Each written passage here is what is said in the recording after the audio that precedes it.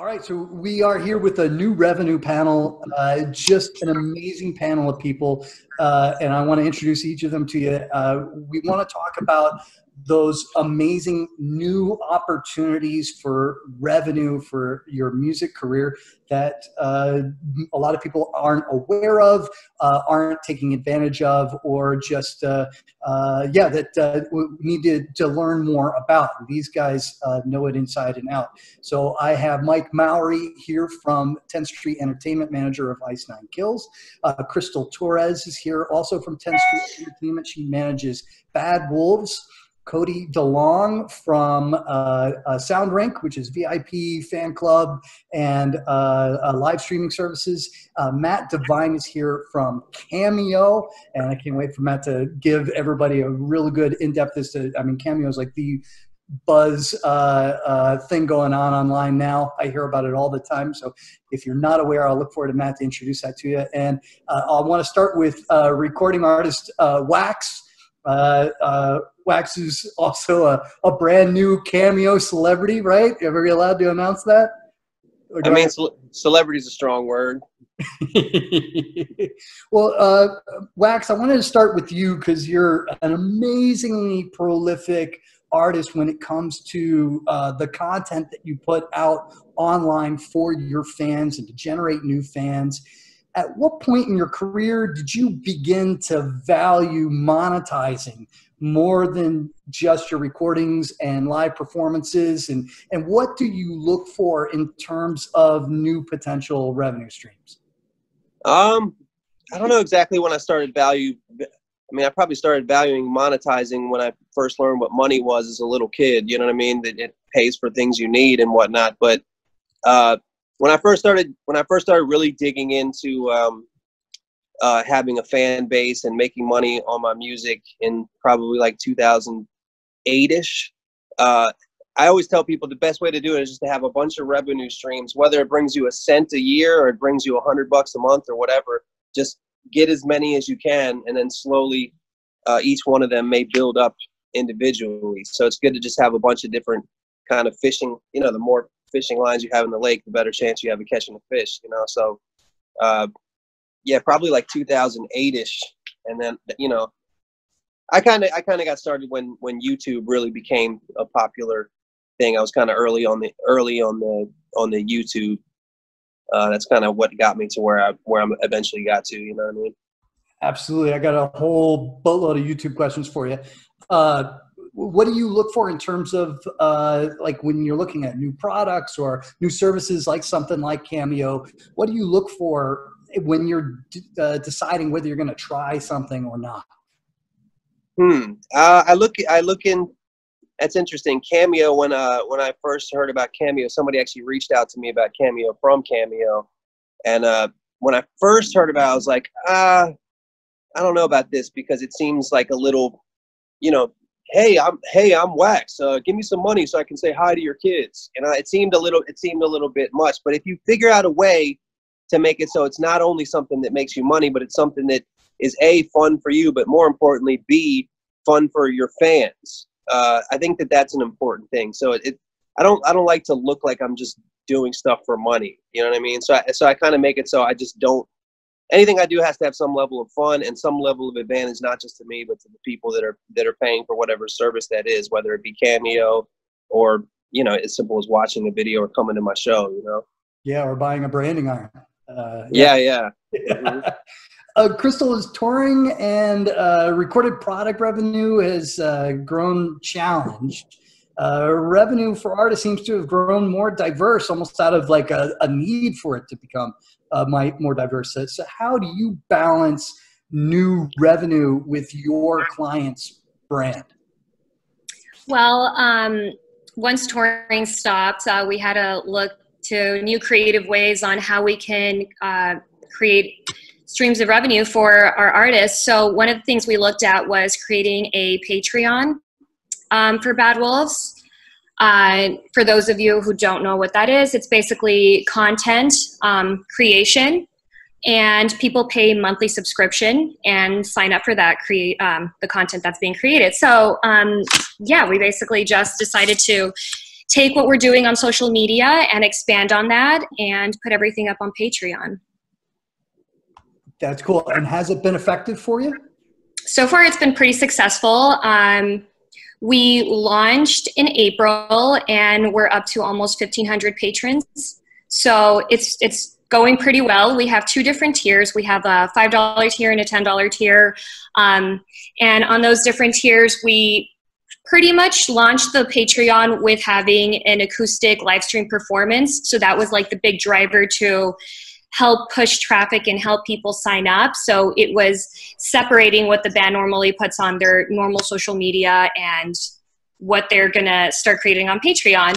And in addition to that, we keep putting out new content every week. So, like, the guys are putting out vlogs or covers of different songs and um, just like day in the life pieces. So, it's basically what people see on social media, but more in depth.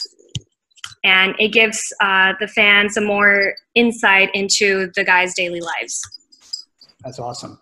Uh, and that sort of feeds into what I was going to ask you about, Mat, like the daily lives, and that sort of feeds into the idea of personality. It seems like uh, Cameo is a place where a really strong brand and a really strong personality really ends up being to someone's benefit uh, on uh, on a, on a platform like yours. Um, so, can you quickly introduce Cameo for those who might not be aware of it uh, or, un, uh, or, uninitiated, and then um, uh, talk about uh, the investment that artists make in their brand, in their personality early on in their careers that ends up paying off for something like uh, what you guys do? That's a really cool question. Uh, well, first of all, I just want to give props to Wax. Wax has been an adopter at Cameo. We love him. He's he's killing it. Um, nice to meet you in person, brother. Hey, thank you, man. I appreciate that. I'm really really proud of what he's done on Cameo. And yeah, quick quick overview of what we do is that we are uh, an app or marketplace where um, fans pay celebrities pay their heroes um, in exchange for short little personalized video shoutouts. So a lot of people have seen these out there where a husband will get Snoop Dogg to wish his wife a happy happy birthday or something like that. Um, generally speaking, they're just about 30 seconds long. And um, yeah, but the company's about four years old. I came on two years ago with headquarters in Chicago. Um, when I came on, there were about a dozen of us. Now there are about 150. Uh, we have across music is just one of our verticals. We also have athletes and YouTube YouTubers and movie stars and everything else. And yeah, so we have about 30,000, over 30,000 talent currently using the platform. And yeah, it's, it's very simple. They just, they set their price anywhere from a buck to Caitlyn Jenner's 2,500 bucks. Chris D'Elia is 50,000 bucks, but that's a joke. And until a Sultan books him on Cameo, I don't think he's going to get booked at that price. But um, but yeah, so they they set their price. It, it works with, with their their lifestyle. Um, they have up to four days to respond to the cameos, so it works really well with the with the lifestyle of artists who are on tour and they're, or they're in the studio, or in this case, they're they're often home, so it's even um, better suited. But yeah, you, you get, we have a lot of examples of you know someone at the Snoop Dogg Snoop Dogg level earning two million dollars in their first year. Um, personally, I'm. It's funny you want to talk about emerging talent. That's the tier that I get most excited about because that's my background. So I was a singer of a band called Kill Hannah. We were on Atlantic for a couple records and Roadrunner, Motown, and I, I spent 10 years on the road um, as the principal songwriter and singer of a band that was quote unquote successful and i was living hand to, hand to mouth my entire life. So i personally take that that plight of the artist very very seriously and i get really excited when i could help be a part of their journey and help practically uh, extend their runway so they don't have to give up music to go bartend. And um, yeah so we have example you know i just saw pierre from simple simple plan came on and made ten thousand dollars in his first month, and he didn't promote it at all. Used it very very casually, and because like I mentioned, the average cameo length is so short. He um, that breaks down to something like 15 minutes a day for him. So I think he, he I think I think Pierre took ten thousand dollars in his first month, using it for 15 minutes a day. Which, as we know, touring after all those expenses and your overhead and your crew and everything, you don't really net much more than that, even as a successful band sometimes. So um, there are more and more examples of that. And and to your to your question about uh, branding as an artist, I I've always believed that's that's critical. We we've noticed early on the talent that first came to Cameo and the the most successful talent on Cameo were not necessarily the most relevant, but they were the most like biggest personalities that own their lane. You know, there's only one. I think. I mean, damn. I don't know what we do if there's more than one, but there's only one Riff Raff. You know, so if you want Riff Raff, you got to go to Riff Raff. You know?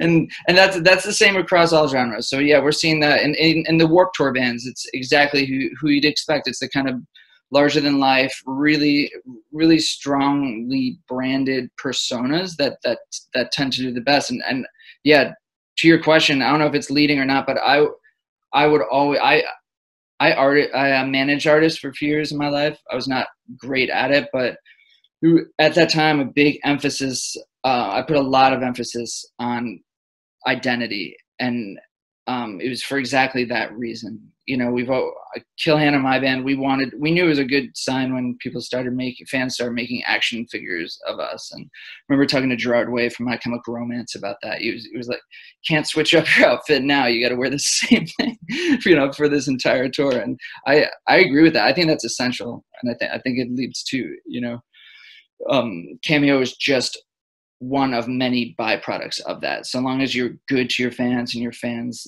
you know, you show your fans that you love them and um, you you are accessible and you you know you reciprocate their devotion to you, then you're going to be in a better place to earn. However, and it's really cool to hear Wax say that he throws he casts the net really wide because that's really really smart and um, yeah, it just it just shows like DIY and hustle, and that never stops. Wax can attest to that. Like I don't think that hustle yeah. mentality ever stops. That's awesome.